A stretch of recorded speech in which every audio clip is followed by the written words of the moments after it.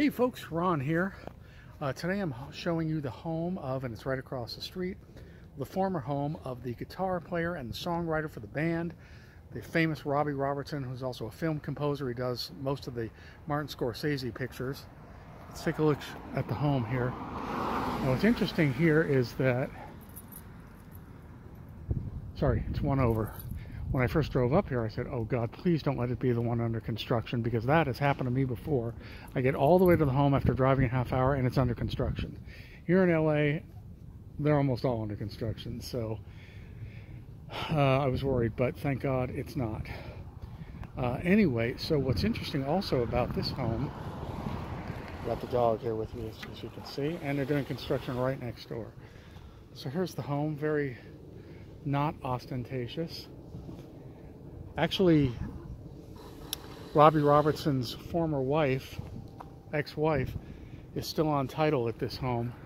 And she is a psychotherapist now, specializing in addiction studies, I believe, here in Santa Monica. So let's see, we've got the gardeners, landscaping guys, we've got construction. The dog is pulling me. I'm going to come back to the house before we adjourn today. So, yeah, it's another hot day. That's why I got the wife beater on. Um, so, Robbie Robertson, well, the story of the band, I know them well. As a matter of fact, Robbie Robertson put out a book about his experiences with the band and his life um, a couple of years ago called Testimony. I think it was a bestseller. I own it. He also did a show, or he created or produced a documentary on the group The Band, the five guys in the band and it's called Once Were Brothers. And they actually had a screening of it in February 2020 in Hollywood. And I went, and he was there doing a little interview. Uh, after we watched the film, he did an interview, and it was very interesting. Uh, and I've read uh, the late Levon Helm's book on the band and Barney Hoskyns' book on the band. So yes, I'm a fan of the band. They have a create, created some great music, but a, a dark history, a darkness about them. Um, heroin and the town of Woodstock in the late 60s and early 70s. So the band, let's talk about the band for a minute, of which Robbie Robertson was a, you know, sort of, as we could say, sort of a founding member. The band were five guys. It was Levon Helm, Rick Danko, Garth Hudson, Richard Manuel, and Robbie Robertson. And all the guys except Levon Helm, whose real name was Mark Helm, Mark Levon Helm, all the guys were Canadian and except for Levon. Levon's band used to play up in Canada, and that's how a guy named Ronnie Hawkins, also Canadian, found the guys in the band. Oh, got to take my care of my dog. Be right back to you. So they were playing. They were the band for Ronnie Hawkins, who was a wild and crazy guy. I believe he still is a wild and crazy guy. In fact, if you don't know too much about Ronnie Hawkins, just watch him on The Last Waltz, which was the Robbie Robertson created last final concert of the band, all five guys together, in 1976, Thanksgiving in San Francisco. Anyway, so they played behind Ronnie Hawkins, and uh, then eventually Levon especially wanted to leave Ronnie Hawkins and for the guys to create their own band. And they did, and they called it Levon and the Hawks, and then it was just the Hawks. And they were playing around Canada and the United States. Robbie in particular was getting a great education on the American South from Levon, uh, who was from Arkansas. Uh, and th that helped in uh, the creation of some of the future classic songs that Robbie wrote, like Night They Drove Old Dixie Down. Anyway, so eventually the Hawks were picked up. Bob Dylan heard of the Hawks, and he was going to create a band leave his just solo acoustic guitar playing behind and create a band and he hired the Hawks. And you know they they wanted the money and the experience the exposure of playing with Bob Dylan so they went and did that for qu quite a long time and Robbie in particular got to know Dylan very well. Um, and they were playing the the Hawks now just well they really didn't have a name. They were just Bob Dylan's band at that point. Um, they were at, I believe it was the Newport Folk Festival in 1966 when Dylan was booed and called Judas because he's he and his band, this band, were playing uh, electric. He started playing electric for the first time. Uh, anyway, and Levon didn't like being booed. So for a while he left and he was like working on oil rigs, doing all kinds of crazy stuff. And the band, the group, had moved up to where Bob Dylan was up in the town of Woodstock, New York. So at that point, um, and they were kind of jamming all the time, but and planning to maybe record and planning to record for themselves. In fact, they started writing the the group started writing a little bit and covering some Dylan songs and playing and jamming with Dylan and without Dylan, uh, which then eventually came out was called the Basement Tapes. Anyway, they finally uh, got Levon to come back and join them in Woodstock and record this new album, record this album they wanted they wanted to do work on their own. And you know, in, in first they were going to call themselves the Honkies. Then it was the Crackers. Then they were just known as the band, quote unquote, the band around Woodstock and the bars and restaurants. So they decided to call themselves just simply the band. And I think it was on an acetate of one of the demos or something. But suffice it to say, they became known as just simply the band. So, we're going to look at this beautiful neighborhood too. So, the band put out their first album, uh, and it was called Music for Big Pink, from Big Pink in 1968. They were a couple of the guys were renting a house. They were actually in a town called Saugerties, if I'm hoping I'm not mispronouncing it in New York. And there's big pink house, which is still there. Fans go to it all the time and they called it uh, Music from Big Pink, and they covered a couple of Dylan songs. And uh, Robbie wrote most of the songs, which he continued to do throughout his tenure with the band. And then, uh, like uh, The Weight uh, was on there, and anyway, I think I should be, and not I shall be released. That was later. Anyway, the band became very famous very quickly, and their second album, which is their best album, that's really their classic album, just called the band, otherwise known as the Brown album, because it was Brown that had the night they drove old Dixie down, Dixie down and Cripple Creek Ferry. Robbie Robertson became the principal songwriter for the band.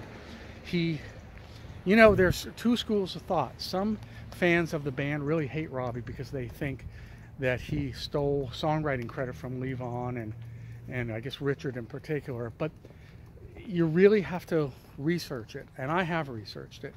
And I believe what happened was Robbie probably did take some liberties with the publishing, but also he was the only one who didn't get into alcohol and especially heroin in starting in the town of Woodstock. Uh, Richard Manuel was a brilliant voice. I mean, all the guys were brilliantly talented. In fact, the band was a band of five guys who, if one were gone, they would have disbanded. I mean, I shouldn't say that because when Robbie left, they did continue, but it was never the same. You really needed all five guys. And Richard Manuel, the keyboard player, and they're all multi-instrumentalists too, uh, he had a beautiful voice, a real soulful voice, but he was a very uh, tormented person and a major alcoholic even when he was in his 20s, starting in, in Canada. And his drug use and his alcoholism prevented him from helping Robbie write as the albums. You know, they had an eight, I think an eight album contract. He stopped writing. Robbie says he begged Richard to keep helping him write, and after the second album, the guys kind of stopped helping him write, according to Robbie. Levon too, and Rick Danko. Um, those three guys uh, used a lot, used a lot of substances, and drank a lot, and were crashing cars and impaired a lot of the time. In fact, Rick had crashed his car yet again up in Woodstock and right after their second album, their most famous best-selling album, and he was in bed, basically couldn't move for months at a time. They couldn't tour. Um, but also that led to the mysterious allure of the band. And then they were on Time magazine, but nobody had seen them play, except for I think at Woodstock. So anyway, it, it's a complicated story, but suffice it to say, Robbie Robertson has songwriting credit on most of the band's songs. And then when the album contract came up, he said he was tired. He feared their health was at stake. Levon Helm famously said, I ain't in it for my health. And that's, uh, that's uh, the title of uh, his book. And unfortunately, Levon did die of cancer, just uh, I think in 2012 or 2014. And Robbie's still going strong, God bless him, hopefully. So, um, Robbie had the idea with his new friend Martin Scorsese to do The Last Waltz. There was a concert, basically where the band started, at I think the Winter Winter Haven Winter. I don't remember the name of the venue, but it was in San Francisco where they I think they had their first American concert and they had the last one there too. That was all Robbie's idea, all his creation. Levon hated the idea and uh, they did their last concert and Robbie said they might get back together but he never came back to the band the other four guys continued without him uh, into the 80s touring not recording I don't believe. Uh, and you know they didn't write songs. They could have but they didn't write songs. Um, I, and unfortunately Richard hung himself. He died in 1986 in a motel room somewhere in the south I believe. Very very sad. In fact Levon found his body and then Rick. Just terrible. And in fact um, Richard's late wife is in Malibu somewhere I think she's like a crystals psychic healer or something anyway and then uh, Rick died I think he had some heart problems in the late 90s and Levon died uh, in, like I said, uh, 2012, I believe. So Garth Hudson and Robbie are the only two left. And then Robbie started doing these film scores for his friend Martin Scorsese, uh, a lot of them, a lot of them, um, including The Irishman. Um, so Robbie, well, also doing some solo albums, but the big joke was, you know, they turned Robbie's mic down supposedly at Woodstock, because Robbie is really not a singer. Um, anyway, but great film composer, great life for himself, and he did, I believe, live there with his wife. Robbie's also just recently sold a place in Mal in uh, Beverly Hills, which unfortunately I can't find the address to. So um, I'm showing you what I can. And in fact, there was one quick note about his ex-wife um, here in the home that I showed you, and I'll show you again, is she and Robbie, who met, I believe, in 66 or 67, um, she's French. I believe that they went on a trip in 72 with Joni Mitchell and David Geffen, of all things, who were a couple. I don't know if they were actually a couple. I think they were. I think that that was what was it, being attempted. Anyway, and they went to Paris, and Joni wrote Free Man in Paris because she said that David Geffen finally seemed to relax once they were on holiday together. Anyway, uh, but Robbie and his ex were on that trip. All right, folks, I'm going to come back here in front of the house in a minute and we'll continue from there. All right, so we're going to take another look at the home here. It's the one right next to the one under construction there. Go across again. So, yeah, very beautiful neighborhood here.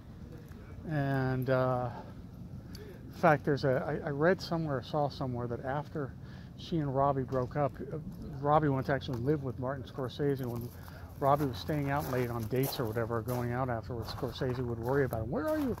Sorry, I was worried about you. This is days before cell phones. All right, folks, so we'll call it there. My name is Ron. Thanks very much for watching and listening. If you like the channel, please subscribe. If you have not already subscribed, and if you do, please hit the little bell icon next to the subscription button, and you'll be notified as to when I post. Please give the channel likes. I would really appreciate that, folks. That'll really get the channel moving, and we'll see you at the next location. All right, guys. Thanks. See you. Bye.